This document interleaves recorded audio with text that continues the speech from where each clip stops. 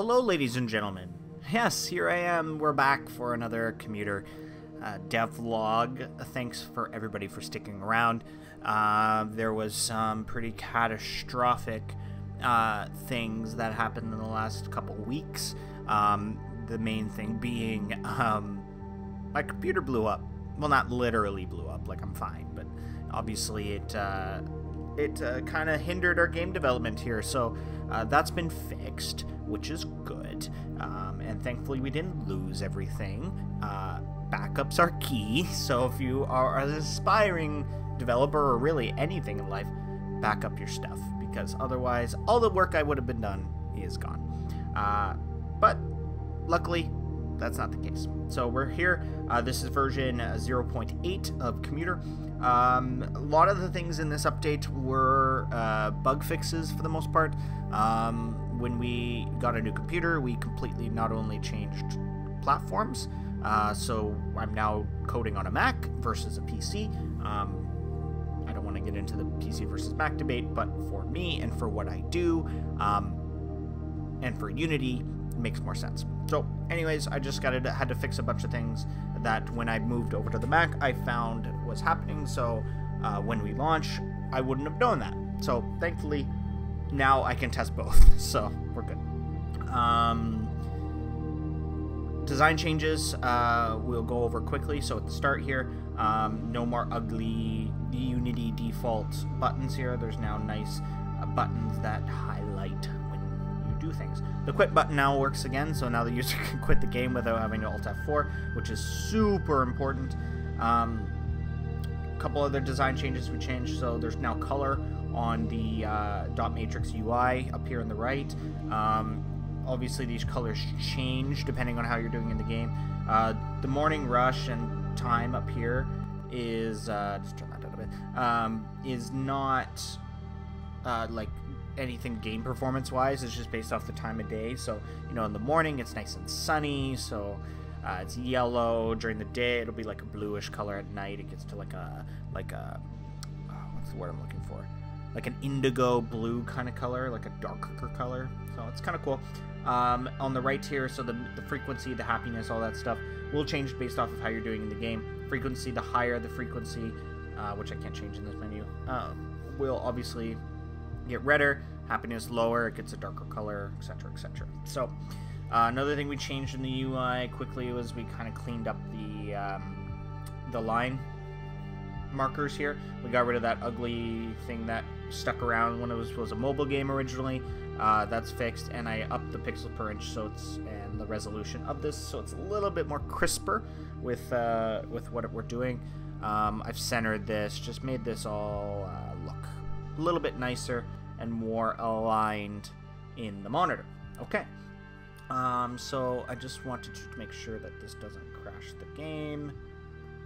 No, okay. So uh, in the signal controller, uh, which we debuted on the last devlog, uh, which I don't think was a video devlog, or it was, doesn't matter. Um, this is just a, a little bit more refined.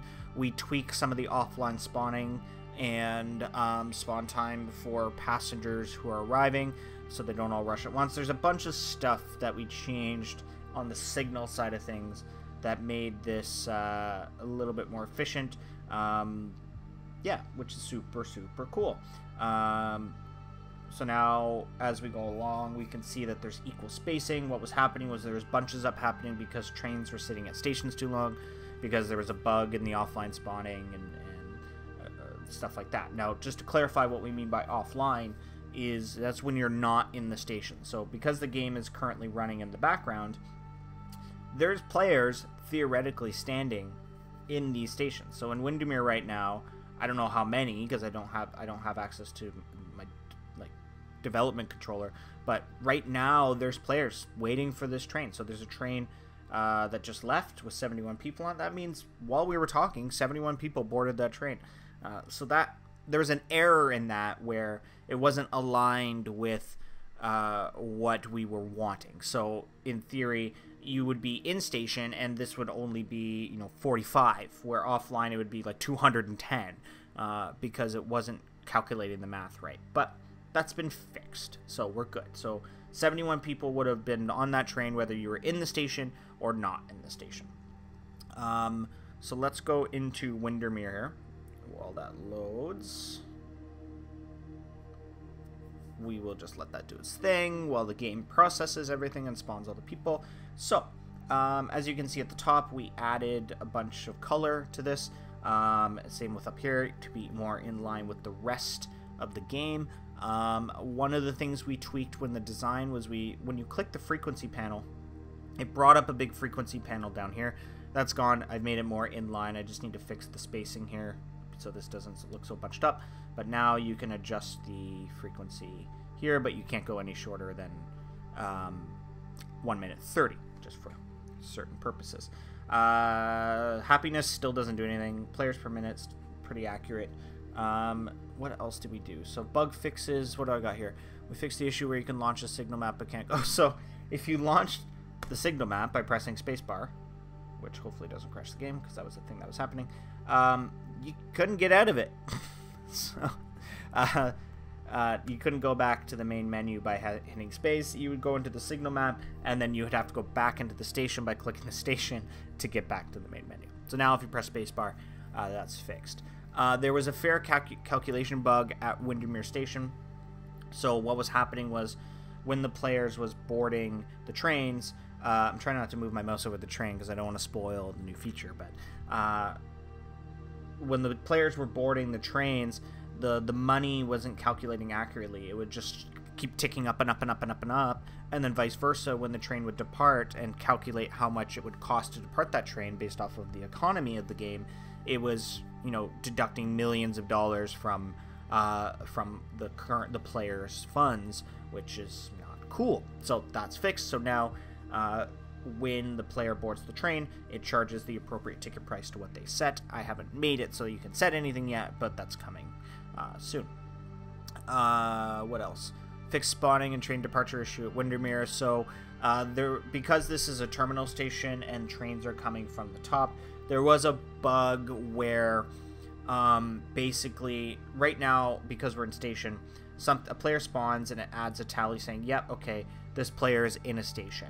And then the sprite, so to speak, is in a station. Then when it boards the train, it changes, moves that tally from one on the station to one on the train.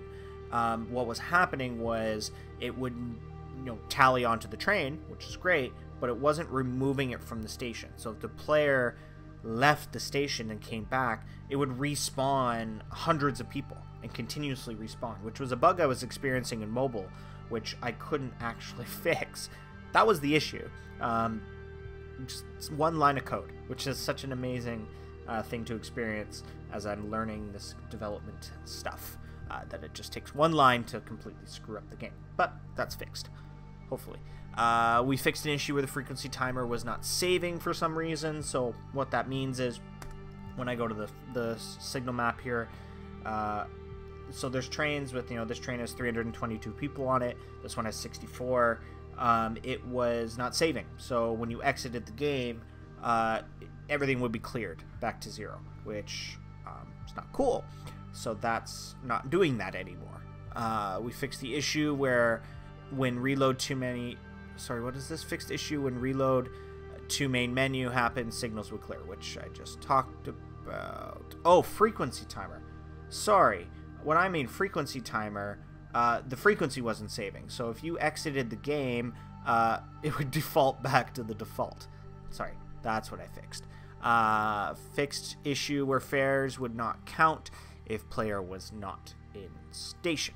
So that kind of goes back to the other issue that I was talking about earlier. So if you were in offline mode, as we say, the fares weren't counting yeah, it just wasn't working. So the players would board the train, but it wasn't actually counting the fares. So that bug was fixed. And another bug that we fixed was uh, the train's capacity bar.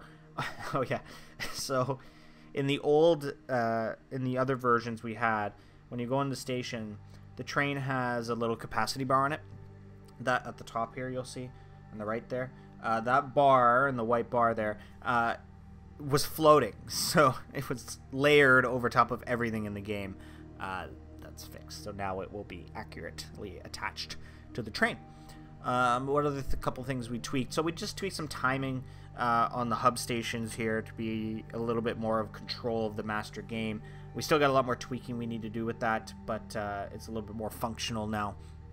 Um, and from a testing standpoint, now that we're, as I mentioned, running this on a Mac, uh, the game is now Mac compatible. Uh, which is great because that's an important factor. Uh, believe it or not, people game on Macs, and we want that to be a big part of our platform. So, uh, finally, and you may have seen some teasing of this uh, during this devlog. Uh, we've added a new feature because every devlog I want to at least add a new feature for you guys to see, and once we release this to play. So the feature is that when you run your mouse over the train, you get this little UI that pops up on the left and this one on the right. So in this case, on the left, this train the arrives in uh, states that the train, the next train is arriving. So this train arrives in one minute because this is a terminal station, and this train departs in 20 seconds. And this train, there's nothing to depart, so it's saying, hey, check the other one. Uh, if we go to uh, Midland Station, which we'll go over here let that load.